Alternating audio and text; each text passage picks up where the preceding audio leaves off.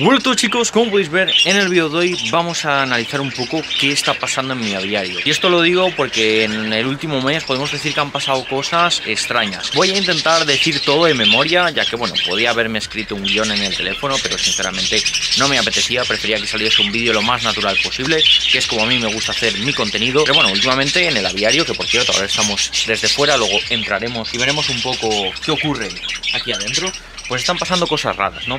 Hemos tenido, pues por un lado, el nido que se cayó, que eso a día de hoy sigo sin encontrar una explicación, ¿vale? Es el nido que está colocado justo aquí, pues ese nido de repente se cayó, me lo encontré en el suelo con los huevos rotos y la periquita aún dentro del nido, o sea que no se escapó, tuvimos suerte. Después ocurrió algo raro, y es que los huevos de mis periquitos desaparecieron, tal y como lo estáis escuchando, de un día para otro, la periquita estaba en el nido todo el día incubando, y de repente pasó a no incubar. A día de hoy ha vuelto a poner huevos, y eso ahora lo veremos. Parece ser que va todo con normalidad. También es raro porque cuando una periquita se come sus propios huevos, suele dejar algo de yema, algo de cáscara, no sé, los huevos desaparecieron por completo. Luego también nos pasó, eh, bueno, la mala suerte de que justo los periquitos de repente también se escaparon, lo cual pues es bastante extraño. Entonces, todo este cúmulo de cosas es bastante, como digo, curioso, ¿no?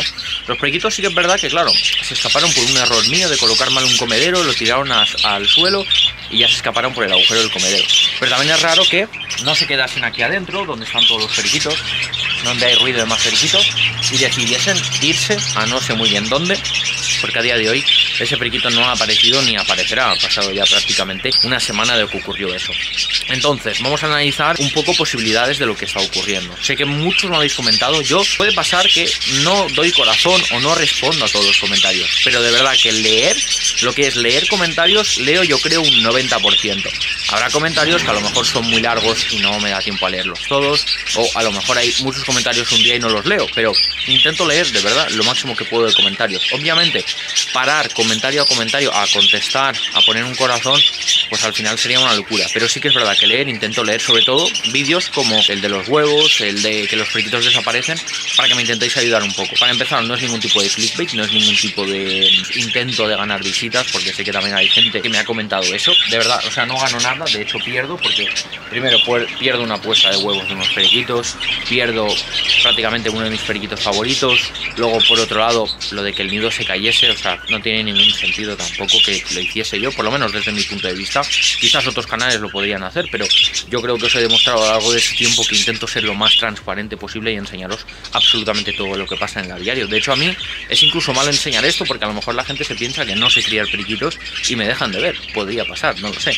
Pero bueno, lo importante aquí, me habéis comentado muchas opciones y vamos a analizar un poco esas diferentes opciones. Opción número uno. Puede que alguien esté entrando en mi aviario. Alguien que pues comparta aviario conmigo, que entre aquí y haga estas cosas para molestar, para intentar joderme. O directamente alguien que no comparta el aviario conmigo, pero que de alguna manera se cuele en lo que es el aviario. ¿Sería posible? A ver, técnicamente sí. O sea, el aviario tampoco es un búnker ni tengo un candado puesto en la puerta. Literalmente el aviario, la forma que tiene de cerrarse y abrirse es esta. O sea, ya veis, es una cremallera que yo bajo y luego coloco también una madera. Bueno, vamos a dejar que el tractor pase para que se me escuche bien.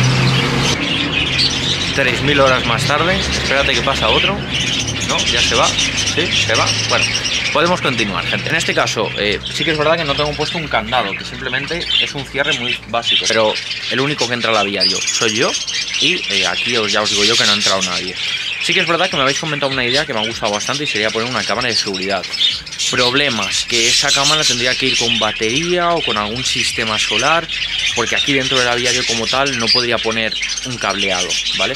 Entonces tendríamos que mirar a ver, pero bueno, es una opción que creo que es interesante, sobre todo poner una cámara pues eh, dentro. Por ejemplo en esta esquina o en la esquina del fondo y que se vea todo el aviario, ¿no? Para entender un poco qué está pasando. Entonces, que haya sido una persona, estoy, vamos, 99,9% seguro de que no ha podido pasar. Después, me habéis comentado, pueden ser ratas.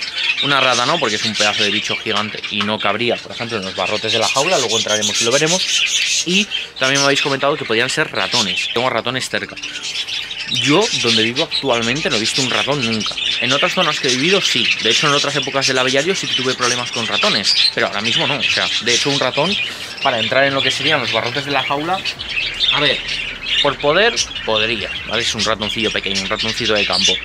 Pero claro, si el ratón entre y se coma los huevos sin dejar rastro, que directamente tire un nido al suelo, lo veo raro. Además, para entrar lo tenía un poco difícil porque yo solo cierro hasta abajo, pongo una madera, entonces esto se queda súper cerrado.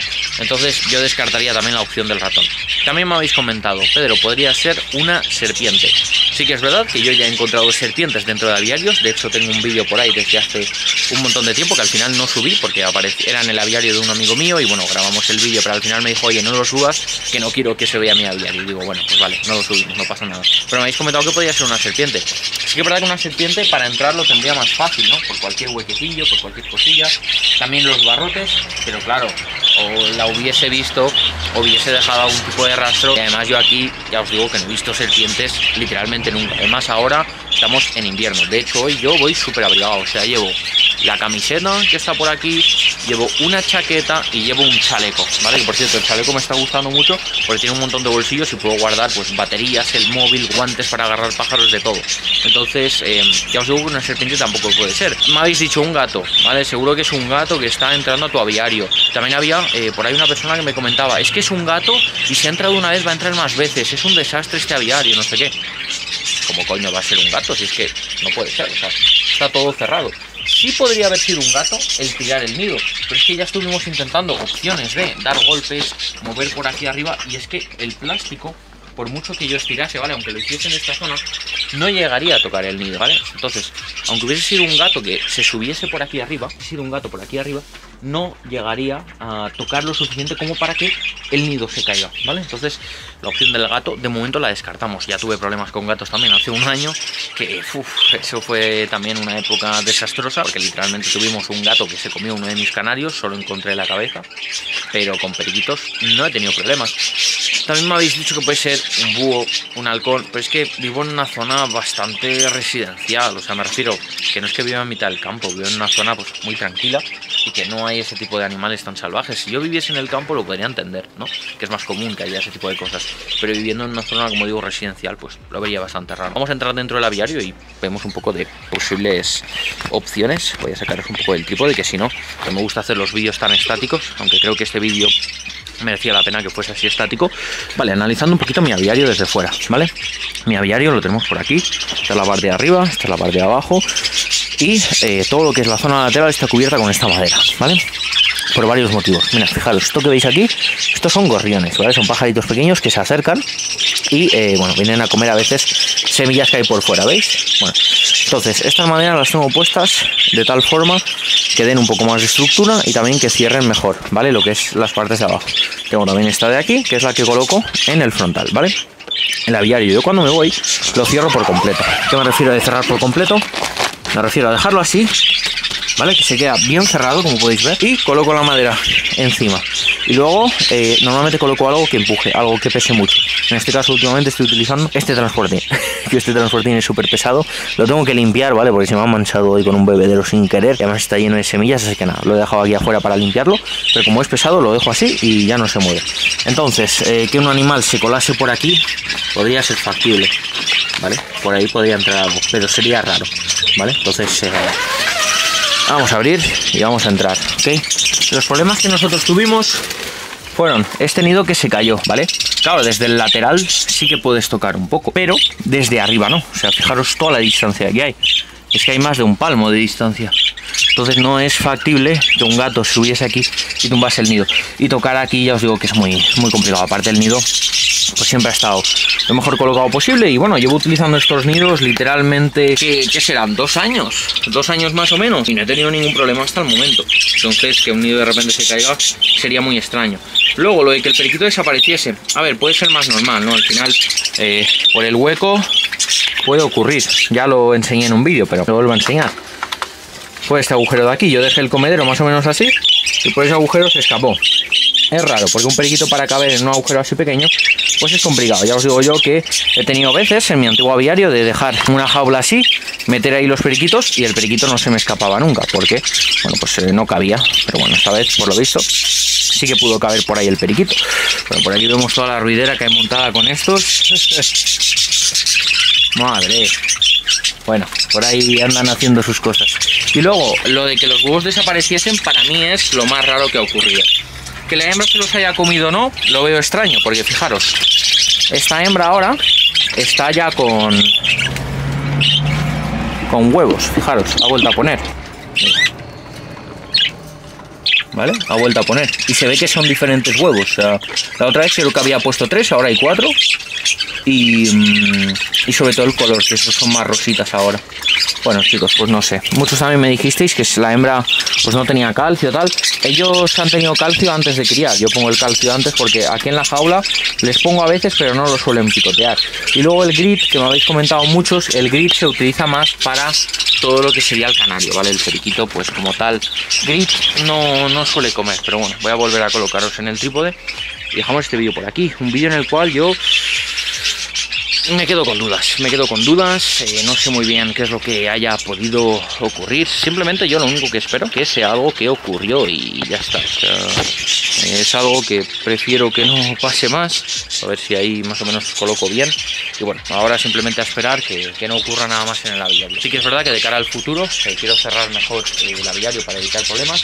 Y también me gustaría, como digo, colocar una cámara de seguridad. Mandarme si podéis opciones o bueno, sobre todo en los directos del sábado es cuando más interactúo con vosotros, así que os invitaría a estar en uno de mis directos del sábado, porque en los directos del sábado es cuando yo estoy ahí hablando con vosotros a tope. Y podemos, por ejemplo, ahí me podéis recomendar, oye Pedro, busca en Amazon cámaras que vayan por batería tal, podemos probar a ver, ¿vale? A dejar una cámara, lo más seguro que sea en esta esquina, enfocando hacia allá, o que sea en la esquina del fondo hacia aquí, pero lo importante es que se viese todo lo mejor posible. Bueno, voy a dejar el aviario así, luego lo cerraré por completo, así que nada, gracias por haber llegado hasta este punto del vídeo, espero que os haya gustado, sobre todo que si os ha gustado me dejéis un me gusta, ya que de esa forma YouTube ayudará a compartir más este vídeo. Este vídeo que por cierto hoy lo estoy grabando y un frío increíble, ¿eh? Dentro del aviario está bien, pero como quería hacer este vídeo así afuera, pues un poquito más abrigado. Pero bueno, importante también suscribiros, ¿vale? Para estar al tanto de ver qué ocurre con el aviario. Ya os digo, para mí estos vídeos preferiría no tener que hacerlos, también es verdad que si hay problemas en el aviario a mí me gusta enseñarlos. Es algo que he dicho mil veces, cuando hay algo bueno lo enseñamos, cuando hay algo malo lo enseñamos también. Así que nada chicos, espero que este vídeo haya sido de vuestro agrado. También agradecer el apoyo a los miembros del canal, muchísimas gracias a todos los miembros. Ya seáis aquellos miembros nuevos, miembros antiguos, de verdad que se agradece muchísimo el apoyo. Muchas gracias a todos por el apoyo económico que dais constantemente. Y ahora ya chicos, sí que sí, y sin nada más que deciros, nos vemos en un próximo vídeo. Adiós.